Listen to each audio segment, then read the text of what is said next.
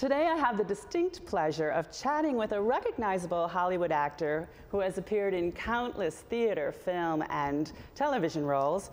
He's also a director, writer, producer, race car driver, swimmer, family man, dog owner, friend, and a very favorite Western New York native son, William Fichtner.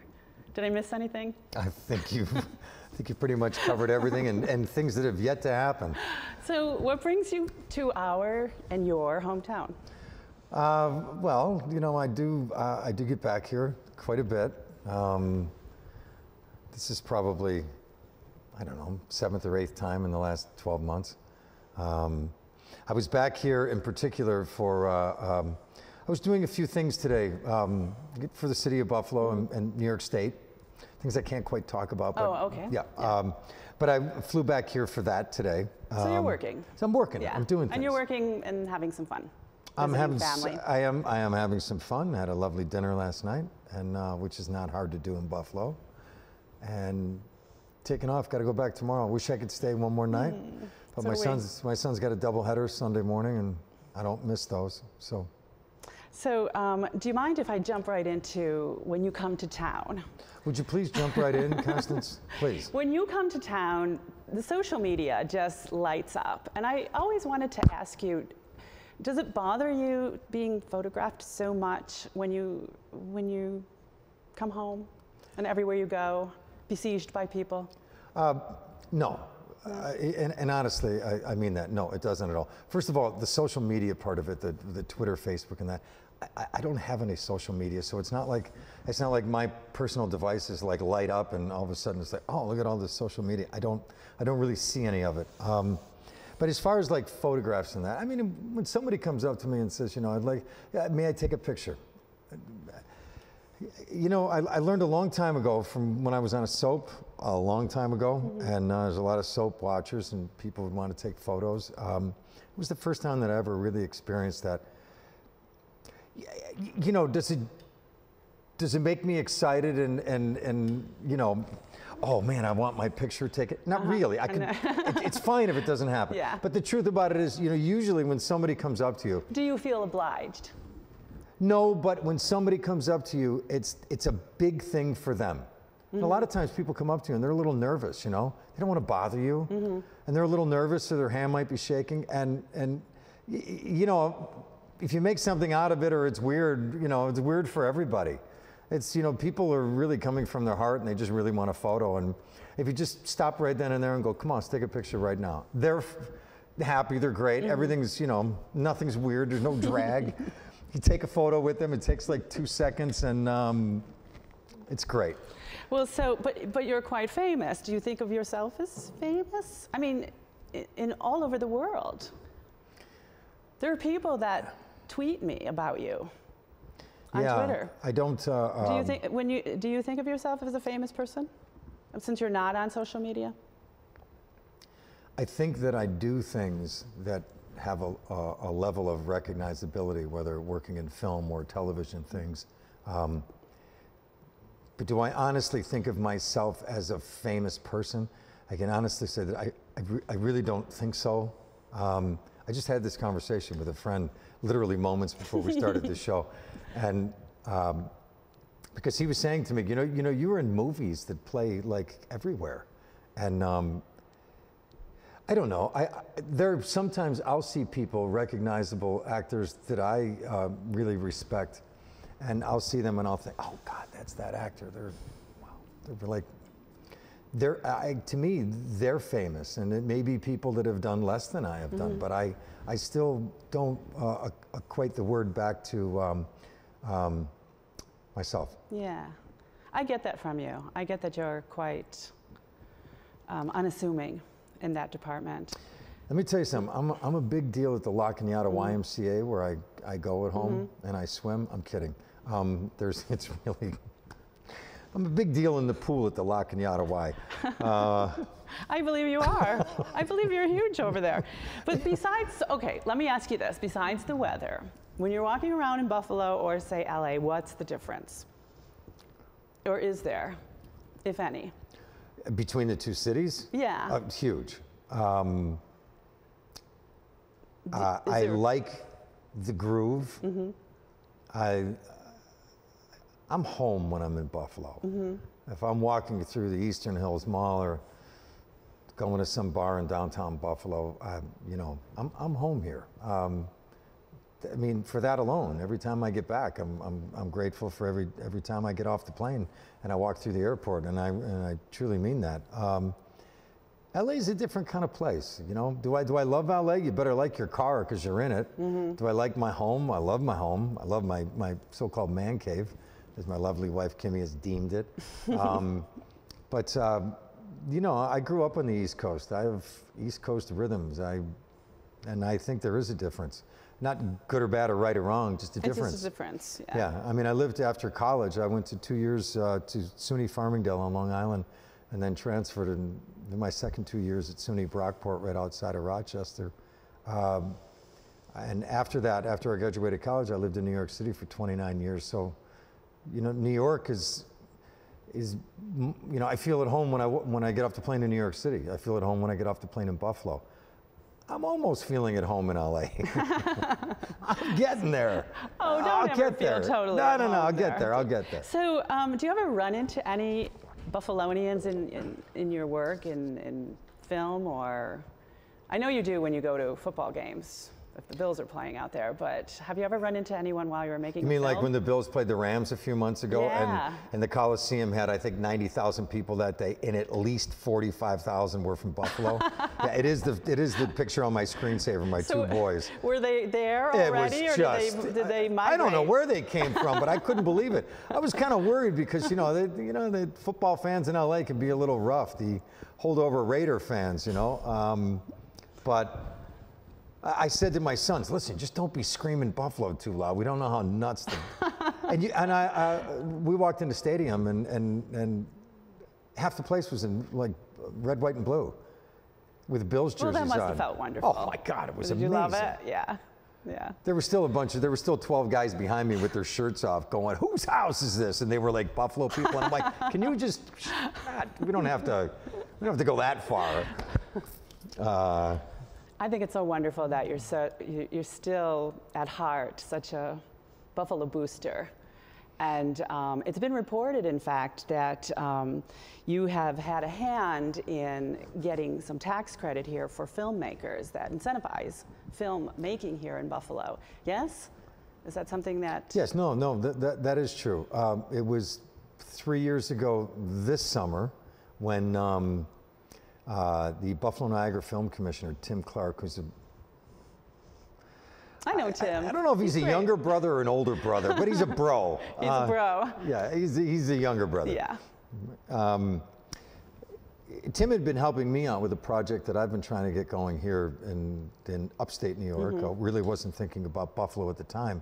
Um, but uh, Tim, had, Tim had called me up. Uh, the way the story went, he called me up and he said, Listen, I remember it was July 16th, um, three years ago this summer, so it was 2014. And he said, Can you get back here. It was it was a Thursday. Can you get back to Buffalo on a Thursday for like a breakfast meeting that we're having? Uh, Cindy Abbott Letro is going to be there. Uh, Tim, um, uh, Nora Brown, the film commissioner from the Central New York Rochester area, and also there were going to be a, a, a couple of state senators, uh, assemblymen, and one of those state senators was Senator Pat Gallivan. And really, the purpose of this meeting, this breakfast meeting, was to talk about, and my part of it. I mean, everybody had something to say about, you know, that we didn't really have competitive tax incentives in upstate New York.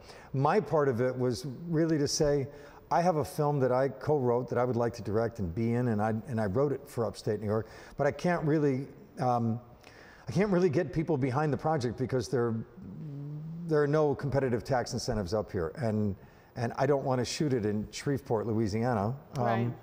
which is where people who read the script, you know, in the years before that said, you know, maybe we could do it in Shreveport or maybe we'll do it in Canada. No disrespect to our great neighbors up north. I just didn't want to. I wanted it to be here. I wanted it to be the beauty, the beauty of upstate New York that nobody really captures on film, um, especially in the indie film world, because, um, you know, unless you're doing it on a wing and a prayer, um, you know, but the sort of budget that I'm looking for, which isn't a lot of money, but those sort of films were not really being made up here.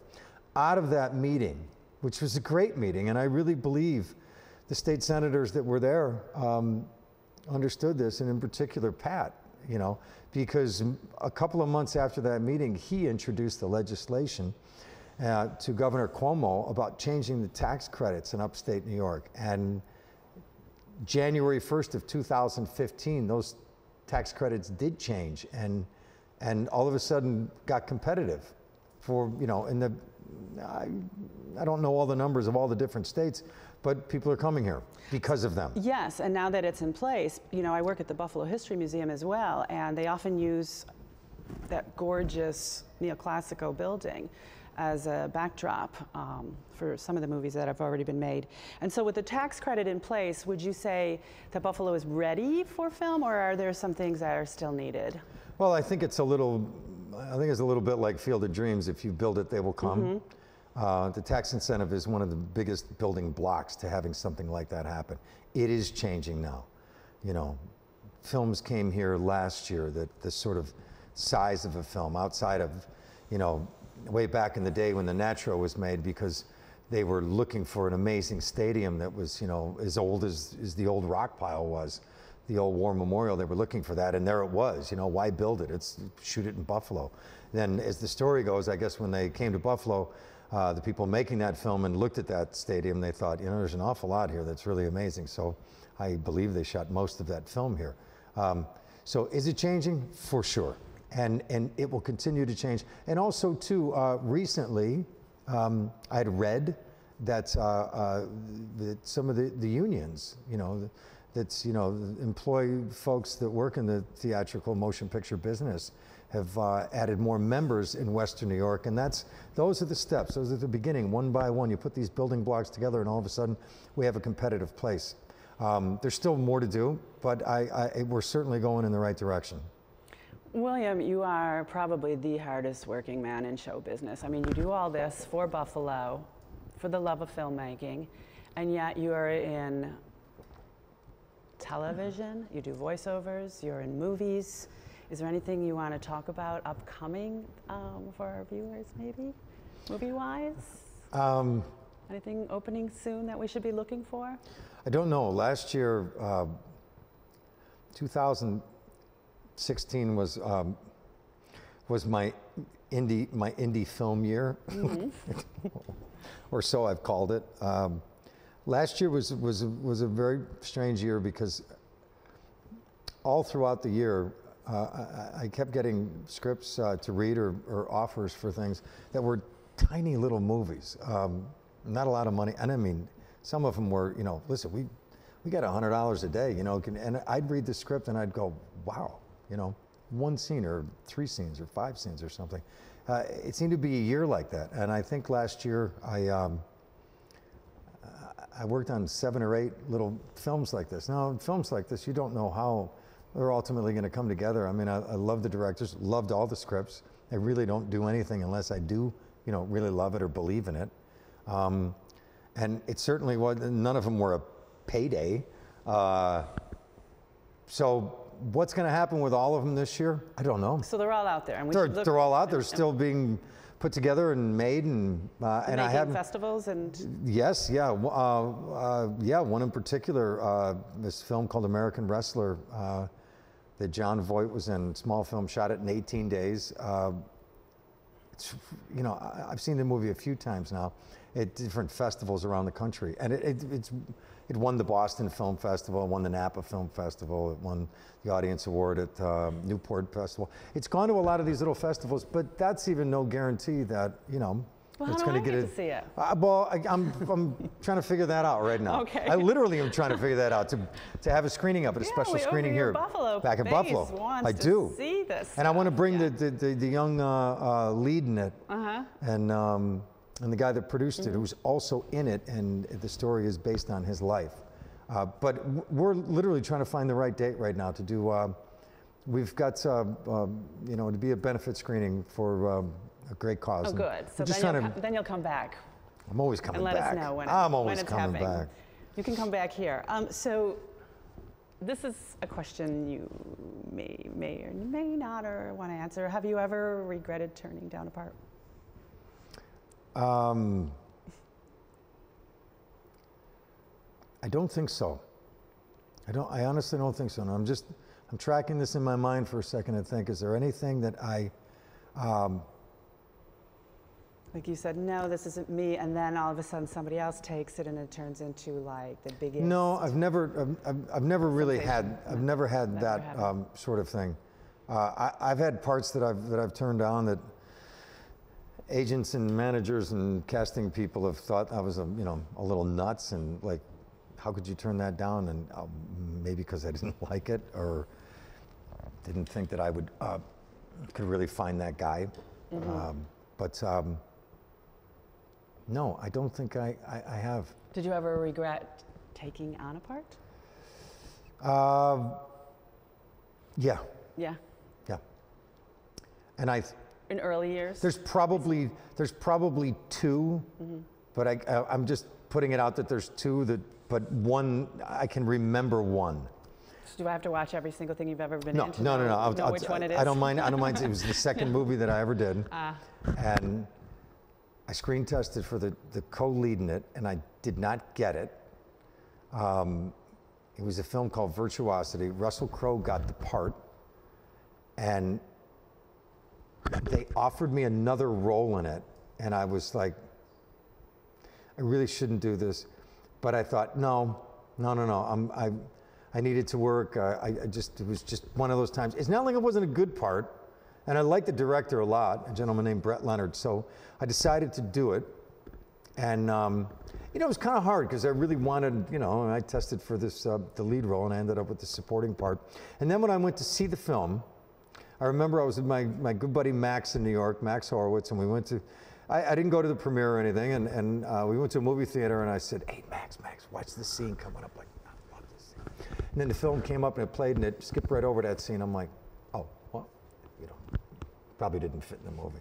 But no, watch this scene coming up. no. And then, oh, I oh, Guess that one didn't fit either. Like 90% of what I shot did not make the movie. And what they left in, they that took out a hurts. They took out of context and you know, like lines were coming out of from one scene. It was So it didn't flow. one of the only one of the only regrets I ever had. All right, now I have a really hard question. You may not be able to even answer this, but I'll this bet is I for the can. Daily Buzz ladies. The Daily Buzz ladies, Yes. and where are they? And um, they're talking about movies in another location right now at the Okay. moment as we speak.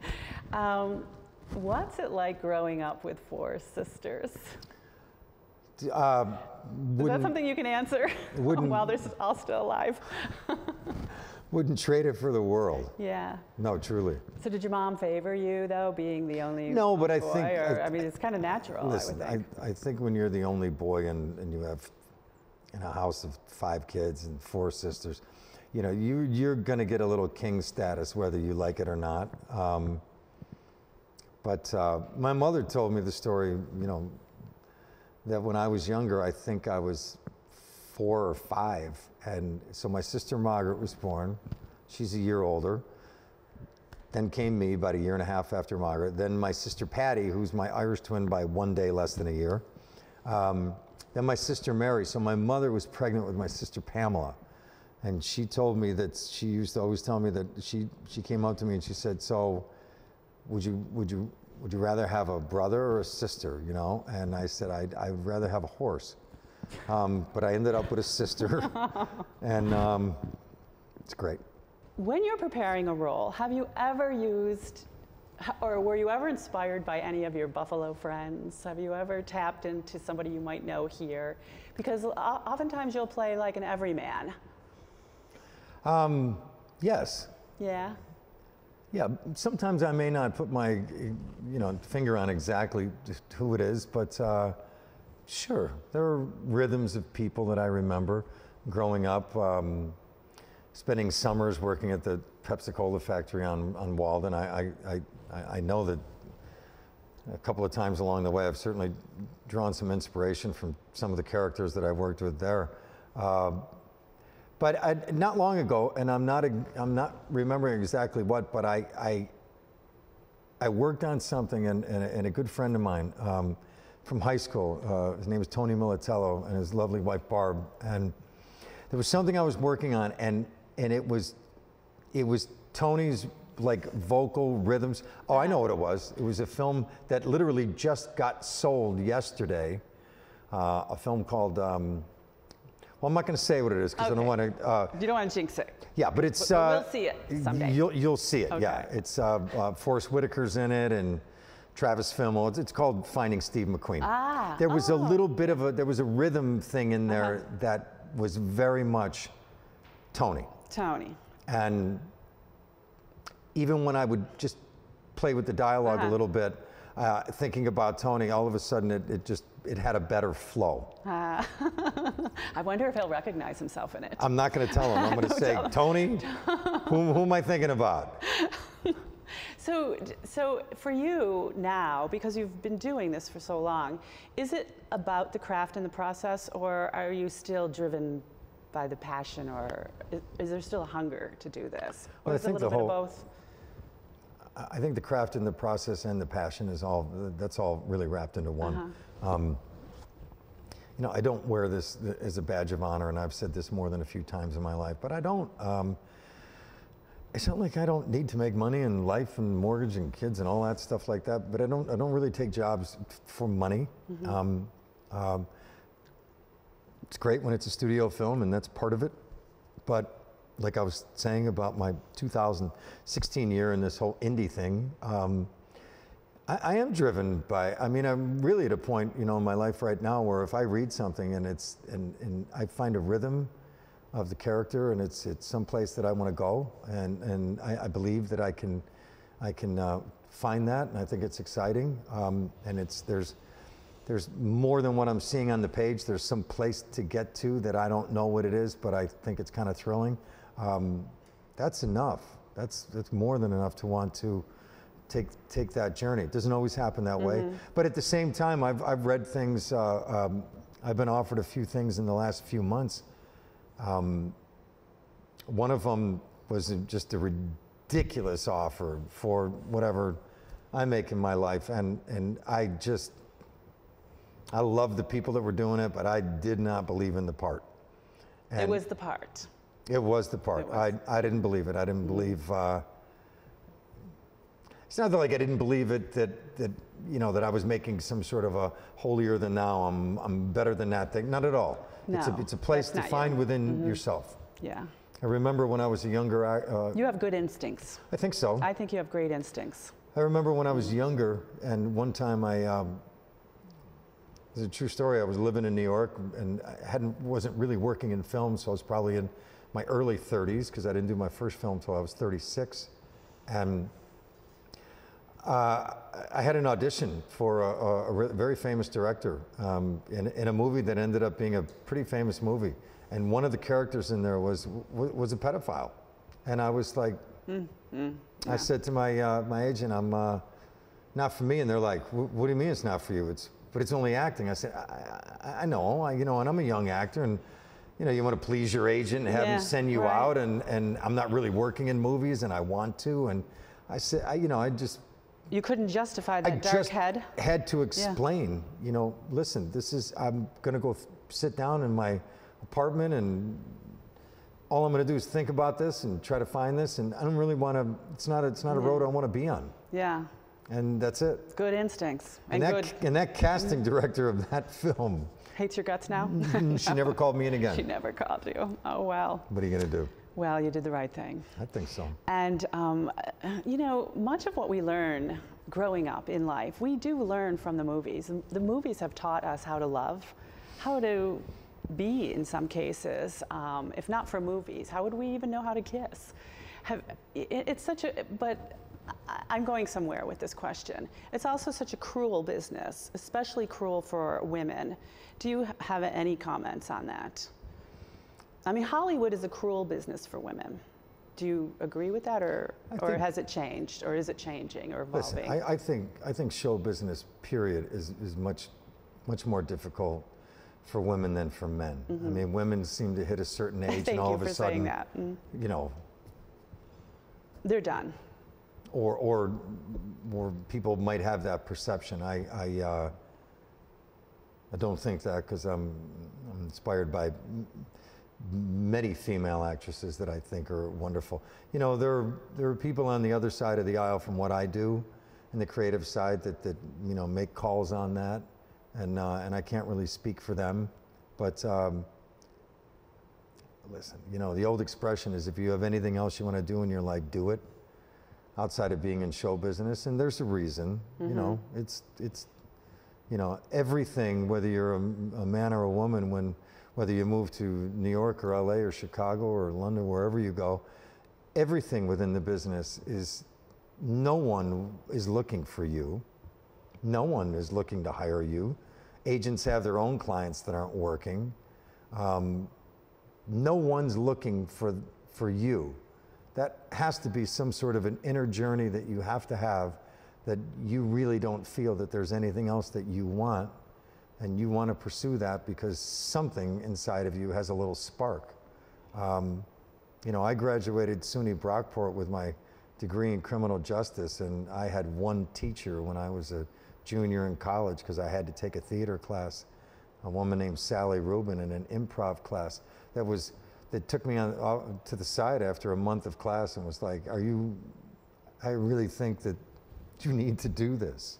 I thought she was a little nuts. Um, Wow, so she recognized she just right away. Stopped me one day and said, "Are you having as great a time as I think you're having? Because Uh-huh. I really think you need to do this."